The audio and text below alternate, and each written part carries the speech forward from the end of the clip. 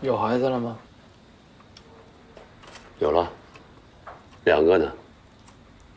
老大在上海工作，搞对外贸易。老二呢，明年大学都毕业了。你呢？我没有，没结婚呢？没。怎么？家里也不催你啊？催？怎么不催？这不是没碰到合适的吗？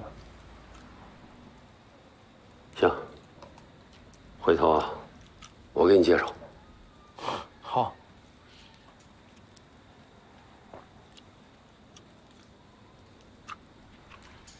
林队他什么情况？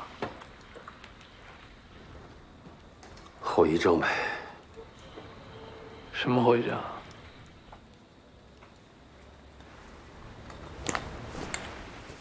一一年抓强奸犯的时候摔的。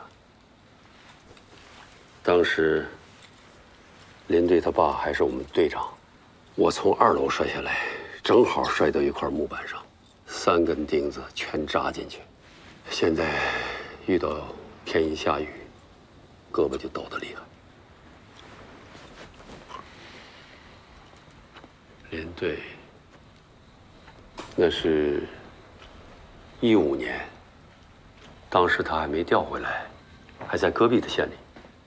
那次啊，正好和他爸一起到贵州去开会，那时候偷车的人很多呀，汽车、摩托车，什么车都偷。四川、贵州、重庆，这边偷了那边卖，那边偷了这边卖，反正是乱得很。就想开个会，讨论一下怎么解决。结果呀，就在贵州碰上了几个盗车贼，根本来不及反应，他们开着车直接把他们爷儿俩撞飞了，当场他爸就被撞死了。他也被抓去了两天，还算运气好，自己逃出来了。凶手抓到了吗？事情发生在贵州，一直是那边负责调查的。听说他们在撞车现场采集到了一名犯罪嫌疑人的血液样本，但是凶手到现在也没找到，而且他爸爸的尸体也没有找到。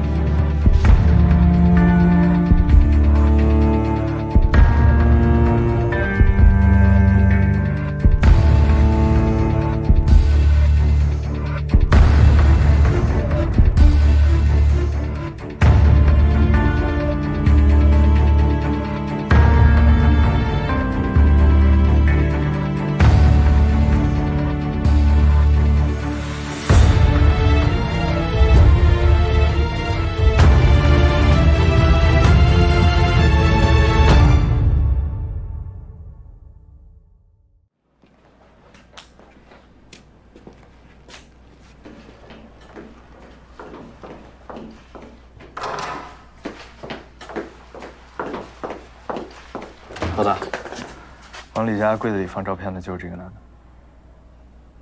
身份确认了吗？暂时还没有，正在问。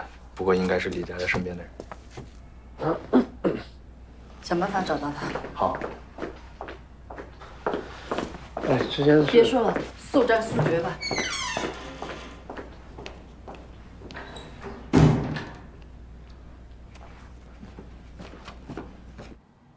哪儿来的？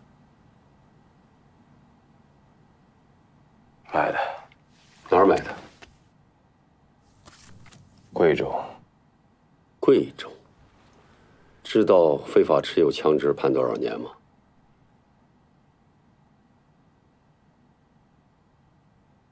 为什么要跑？还不准备说？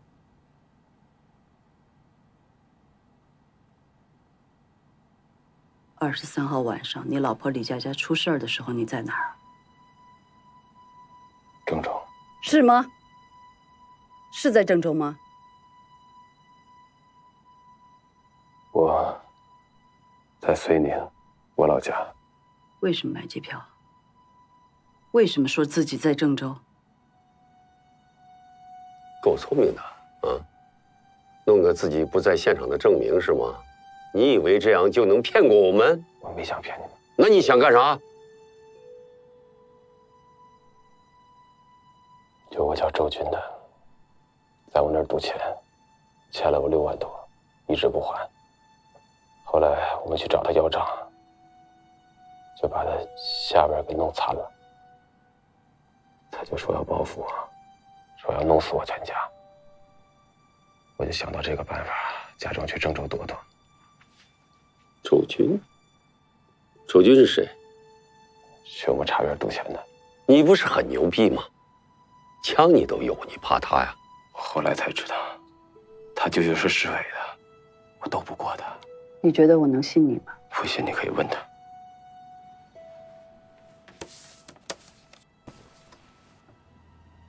你们结婚多久了？六年多。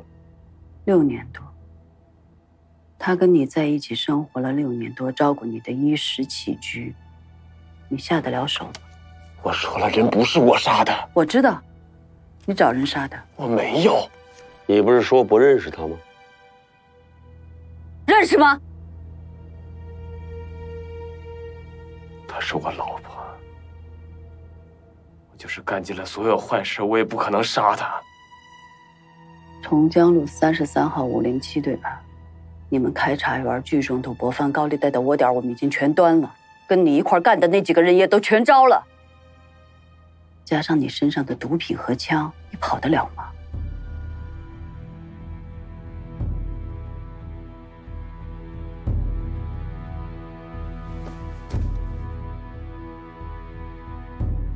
为什么要选赵长松？我不认识赵长松。王向龙呢？是不是他干的？不是。那是谁？我不知道。你不知道你怎么说不是他？你不是让黄胜龙监视你老婆吗？我是找人去监视他，可是我没想怎么样。为什么跟踪他？因为，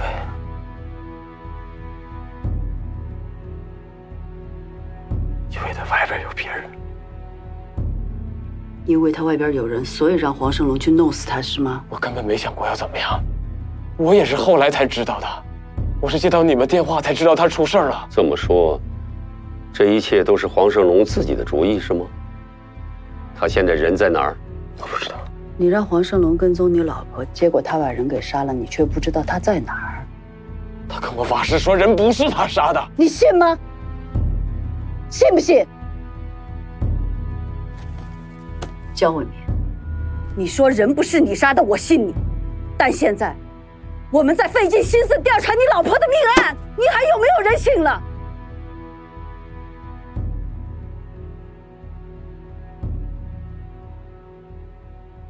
黄胜龙现在在哪儿？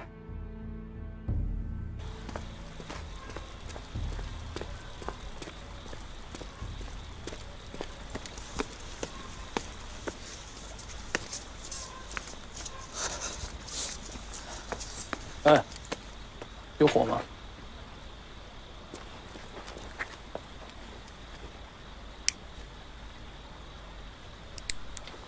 出去啊！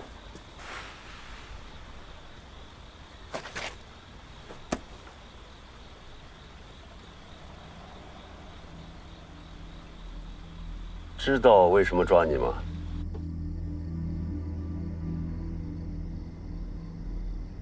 人是你杀的吗？不是。你可想清楚了？焦伟民人都被抓了，他让你跟踪他老婆的事儿，他也招了，你还替他顶包？我真没杀人，我只是帮他调查他老婆出轨的事儿。民的说法跟你不一样啊！你搞辆别人的车去杀人，怎么想的？嗯？在哪儿学的？什么在哪儿学的？我根本什么都没干就。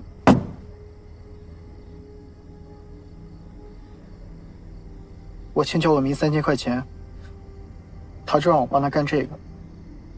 其余的我什么都没干呢。我犯得着为三千块钱去杀人吗？李佳长得不错吧？调查他的时候没忍住。你们为什么不相信我呢？我真的什么都没干呢。我家里还有老人，我无缘无故干嘛杀人呢？你跑什么呀？二十三号李佳出事那晚你在哪？在南天门和一对兄弟唱歌。哪些人？张凯、麻子。说全名，我哪知道麻子是谁啊？赵兴国、刘洋、周波、丽君，另外几个都是他们叫的，我不认识。焦伟明说的那个周金也确认了，不在场证明、作案动机、行事风格都不符合条件，这件事应该跟他没关系。我们还查了南天门 KTV 的监控，二十三号晚上，黄胜龙和他的朋友的确一直在那唱歌，所有人的口供也都对得上。那就是说，这里边没有一个是真正的凶手，对吗？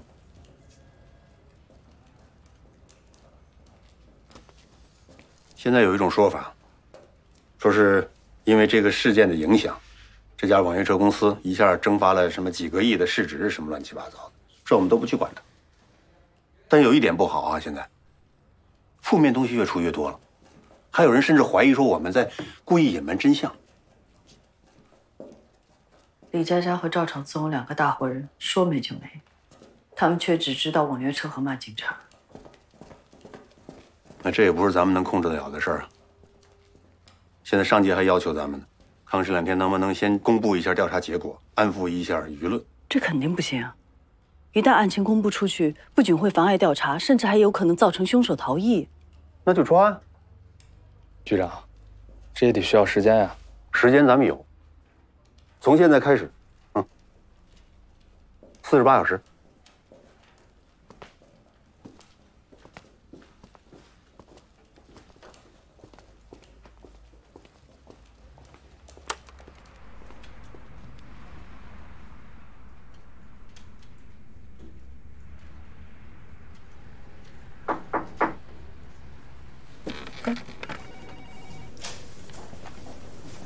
我了解了一下赵伟的情况，他是因为在市里办案的时候弄伤了人，被处分了才调过来的。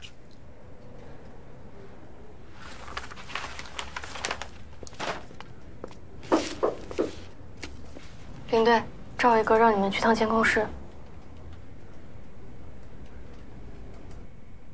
这个是黄胜龙跟踪李佳佳去医院上班的视频，之前我们也都看过了，没什么问题。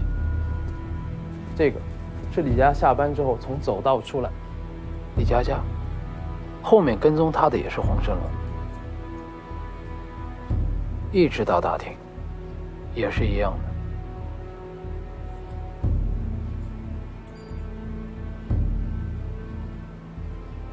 连续几天差不多都这个情况，也没什么问题。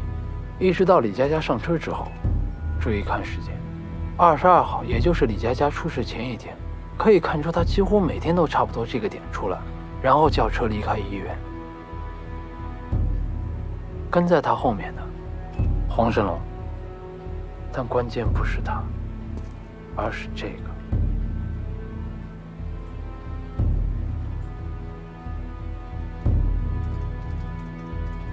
仔细看一下他的鞋跟裤子，再对比一下凶手的鞋跟裤子。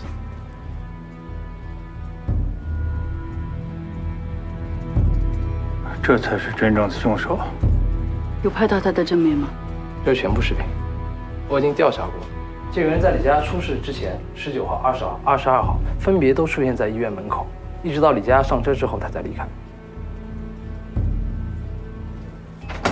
老大，往李佳家储物柜里放信那个人找到了，李贺，江口镇人，现在在电视台上班，是电视台的一个摄影师，家庭住址是长宁路西运小区二号楼四零四。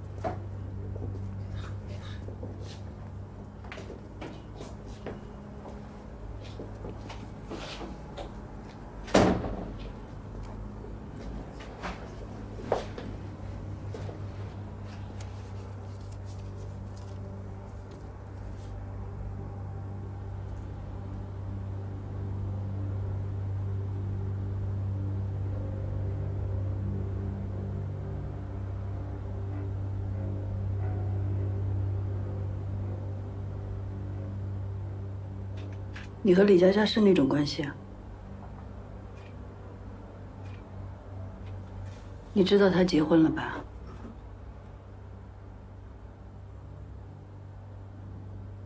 之前为什么在信里面说杀害李佳佳的是焦伟明？佳佳跟我说的。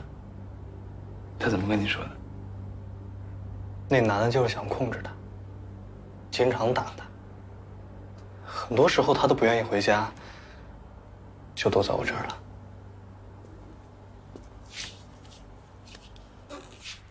跟李佳佳怎么认识的？我平时除了拍新闻图片之外，还会拍一些人像啊、广告这些的。一开始是电视台找的他，因为他参加过电视节目，有经验，所以就会找他。他参加的什么节目？很久之前的事儿了，一个选秀叫啊《全面偶像》。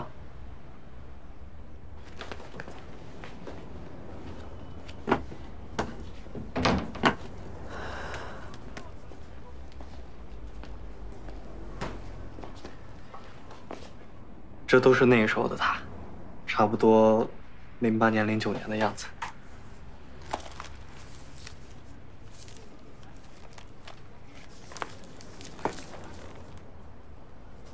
十年前了。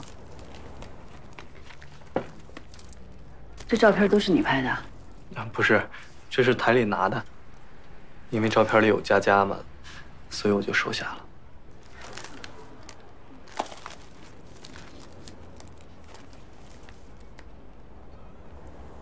李佳佳尸体找到那天，你是不是去河边了？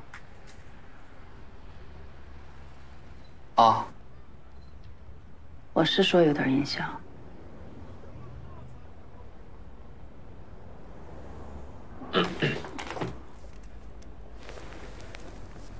看后面这男的，赵长松，他们怎么会在一块儿？这些照片我们能拿回去吗？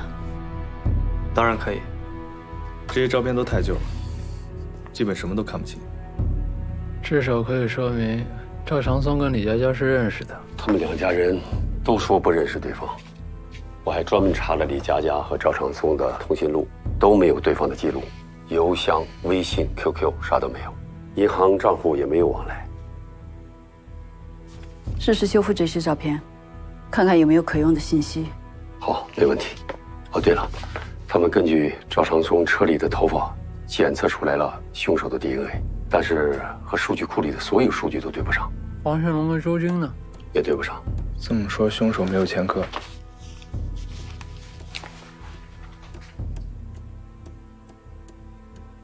赵长松的女儿在外边坐了一天了。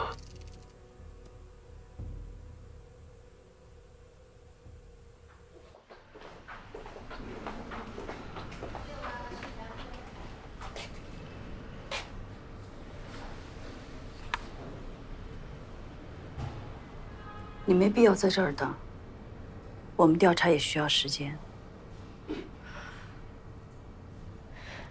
这件事儿真的是我爸做的吗？回去吧，等有了结果，我们会通知你的。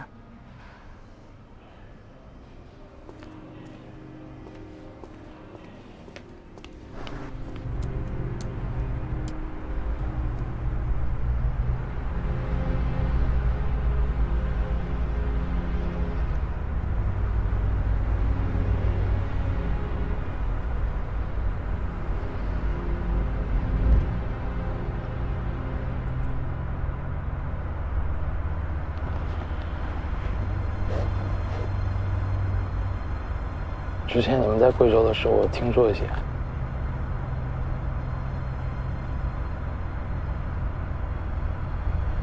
为什么没继续查下去啊？你怎么知道我没查？如果查了，怎么可能一点进展都没有？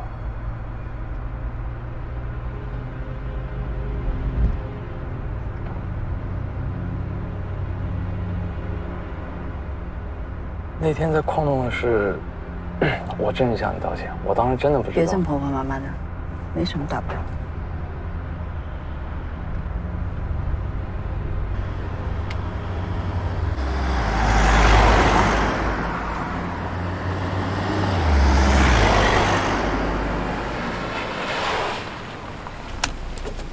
赵伟我对你个人没什么意见也不关心你过去经历过什么。但是有些话我觉得我们应该说清楚。我们虽然是同事，一起工作没问题。既然你是来协助我办案的，就得照着我的方式来，懂吗？明白。回吧。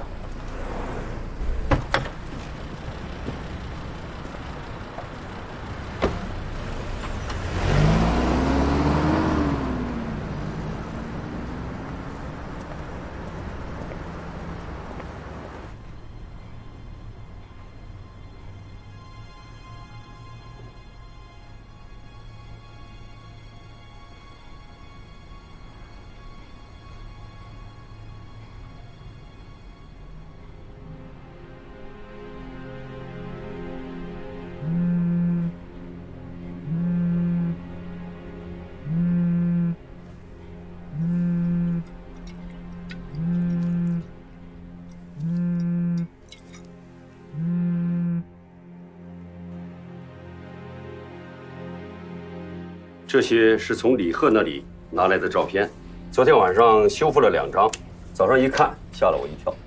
你们看，这里，赵长松，放大出来是这样的，但是，他还不是重点，重点是他。五年前长顺码头汇仁酒店杀人案被害人李子欣。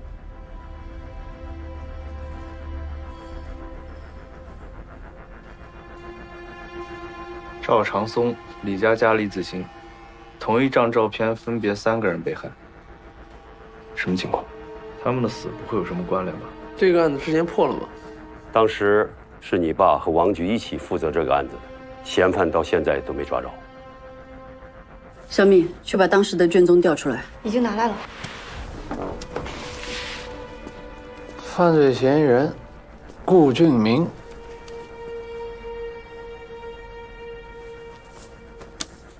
临川县马家沟人，一米七三，体重六十五公斤，惠州日报工作，工作单位体重身高完全都吻合。有他的指纹和 DNA 吗？指纹。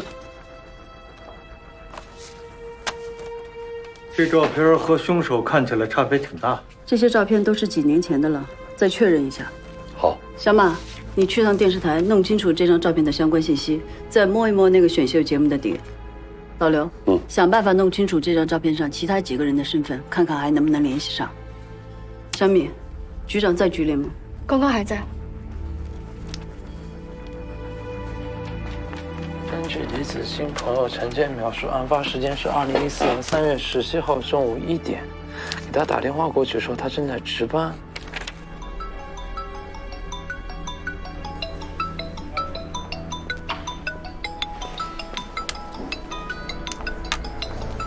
子欣电话，我帮你弄吧。嗯，好，我刷过了啊。好，不好意思，稍等啊。您好，请问你是李子欣吗？是，您是？我知道一些你们当时选秀节目的事，我想跟你谈谈。你你想谈什么？你应该比我清楚。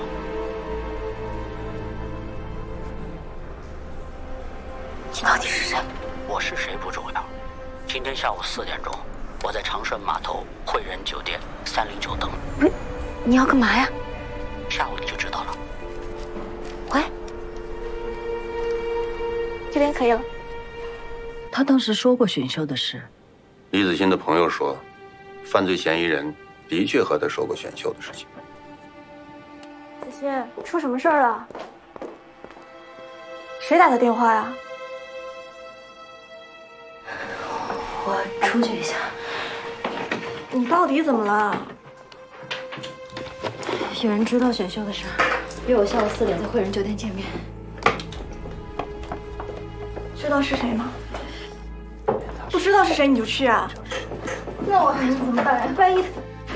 你冷静点儿，万一他什么都不知道，就是吓你的呢。他肯定都知道。我一听他的语气，他就什么都知道。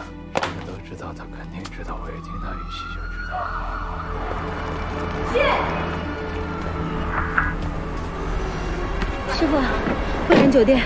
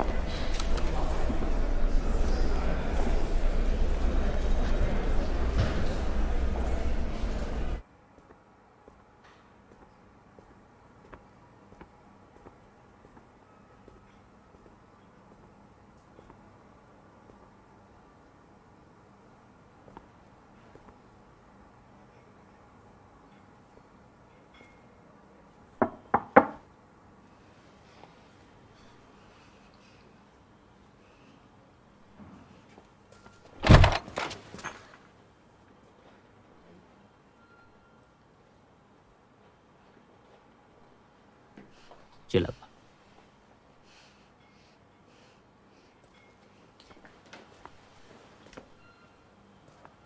认识我吗？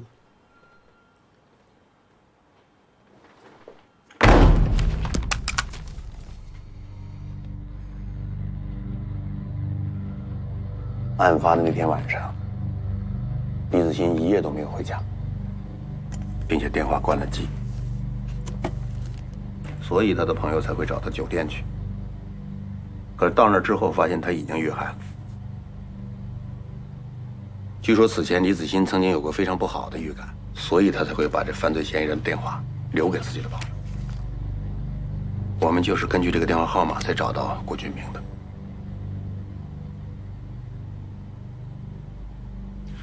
郭俊明有个弟弟，据他陈述，说郭俊明找过他，说自己手机丢了，那电话不是他打的。可侦查结果表明他在撒谎，因为他的电话始终都在自己办公桌的抽屉里，那上面有他跟李子欣的通话记录。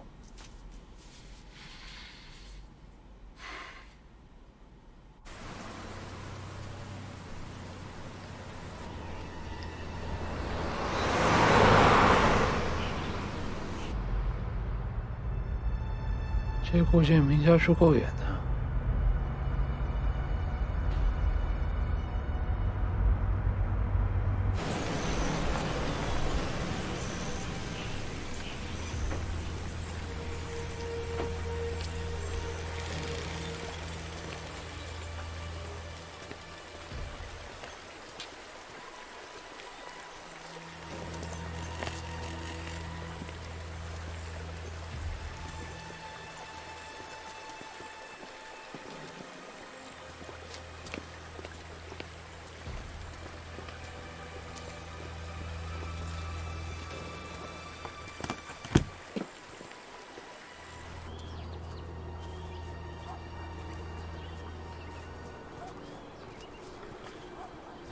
你好，请问您是顾俊明的母亲吗？我们是刑警队的，想找他了解一点情况。他已经死了，你们不要再来了。他当年的案子有了一些新的线索，只要弄清楚了，就能证明他是清白的。那些线索是对他有帮助的，所以我们务必得见到他。他不是说他看见有人偷他手机吗？那人有可能就是凶手，我们需要他配合我们，明白吗？你们要抓他，自己想办法。问我，我也不知道。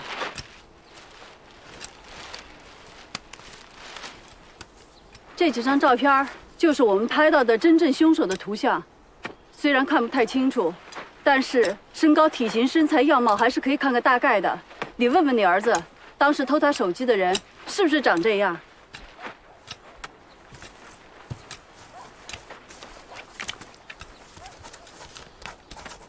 有消息打给我。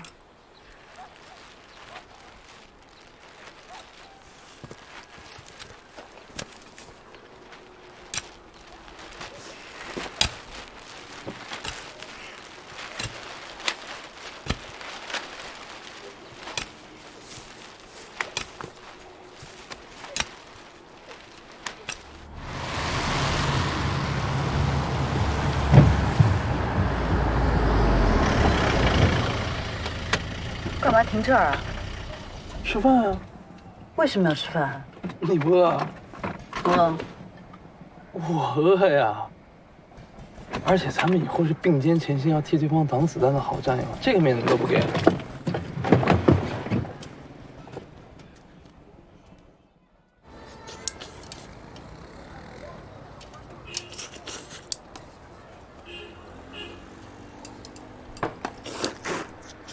去过那么多地方，觉得上海怎么样？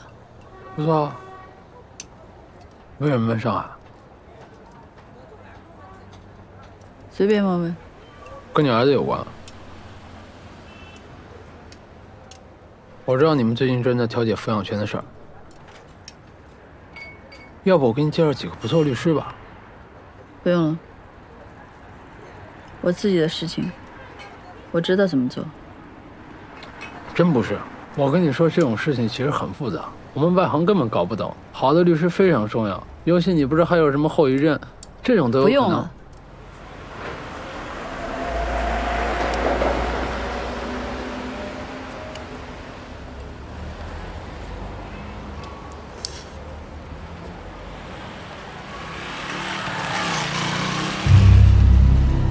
顾俊飞，你认识他？他这会儿进城干嘛？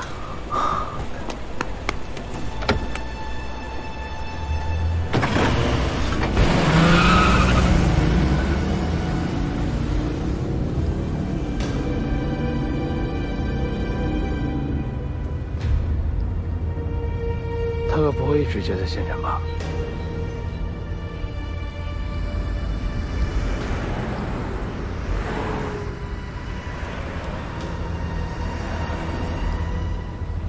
你别跟太紧。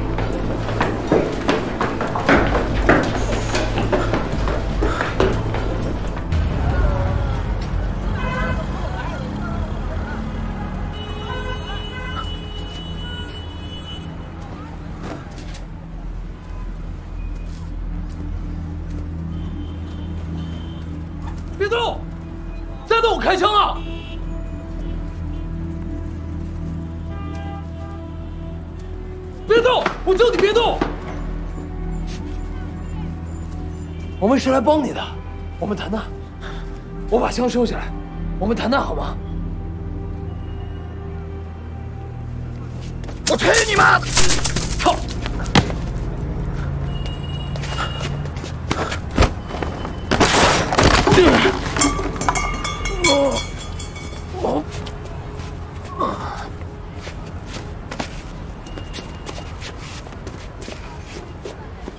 刚刚那个人是不是顾俊明？是不是你哥？说话！不要问了，我看见了，就是他。我看见了，就是他，对吗？他藏哪儿了？不知道。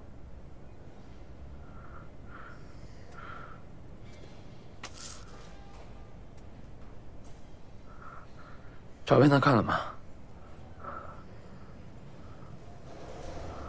他怎么说？他怎么说？我已经给他看了，如果没错的话，他会联系你们。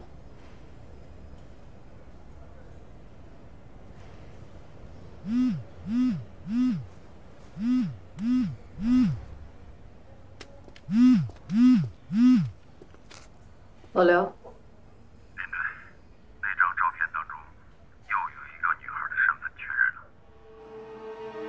叫周灿，住在三河口。我联系了他家里，说他三年前就已经离家出走了，之后就一直没再联系过。三年，他家人都不知道他去哪儿。不知道一点消息也没有，就像人间蒸发了一样。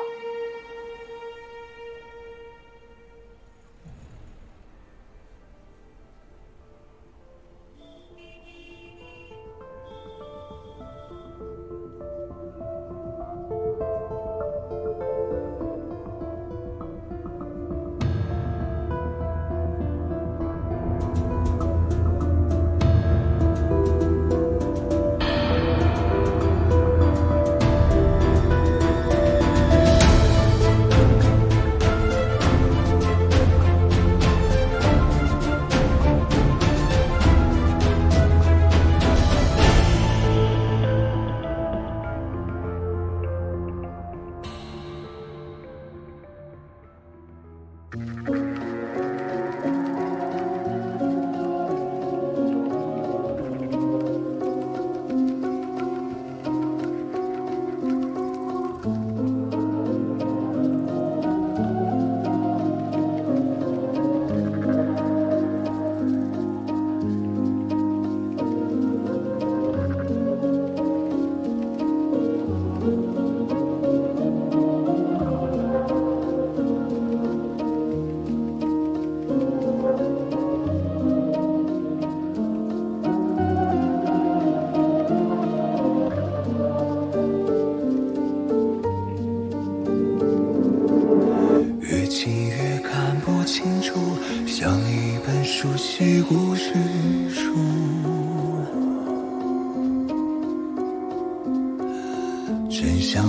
渐渐模糊，像冬天晴片起了雾，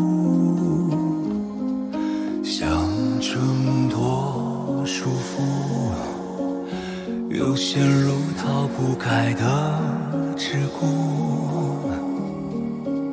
是人都有错误，却不是都渴望宽恕。